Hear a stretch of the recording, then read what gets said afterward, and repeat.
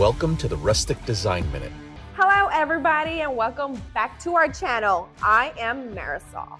Today, I'm diving into the rustic world of barn wood and sharing some fantastic ideas to incorporate this reclaimed material into your home decor.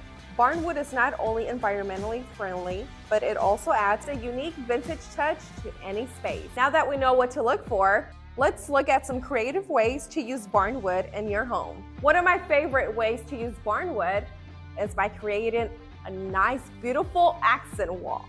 This can add warmth and texture to any room, and it's easy to install. And depending on the size of the wall, you can even mix and match different shades and textures of barnwood to create truly unique design.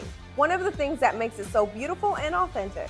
Tables and benches are just a few examples of pieces that can be crafted using this reclaimed material. Barnwood shelves are another versatile option for incorporating this material into your home.